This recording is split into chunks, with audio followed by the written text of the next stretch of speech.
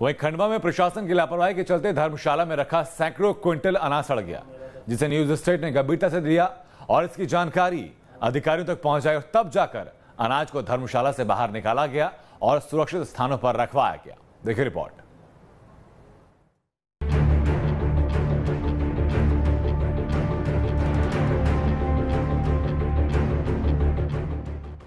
खंडवा में news state की खबर का न सिर्फ़ असर हुआ, बल्कि अधिकारियों ने मामले की जाँच कर दोषियों के खिलाफ कार्रवाई की बात भी कही।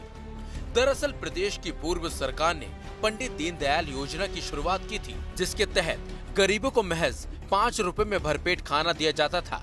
लेकिन सत्ता में जैसे ही कमलनाथ सरकार आई तो उसने इस योजना को ही बंद कर दिया जिसकी वजह से पंडित दीनदयाल योजना के तहत इकट्ठा किया गया अनाज खंडवा की एक धर्मशाला में रखा हुआ था।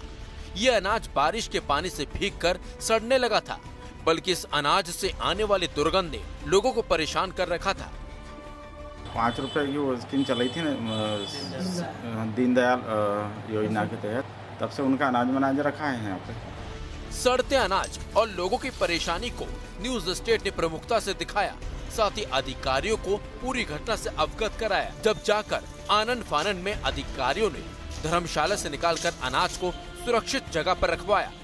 साथ ही योजना के प्रभारी और कर्मचारियों से मामले पर स्पष्टीकरण भी मांगा है। कोने कोने पर जहाँ से पानी रिश्ता था, उधर के कुछ 10 12 15 बोरे के आसपास उसमें ख़राब हुआ है चावल। और बाकी जो है चावल वो थोड़ा ठीक है। तो उसको उसको वहाँ से तुरंत हटा करके और जहाँ पानी ना गले ऐसी जगह पे रखने के लिए अभी निर्देशित किया है। नोटिस दिया है प्रतिवेदन लेने के बाद कार्रवाई करेंगे।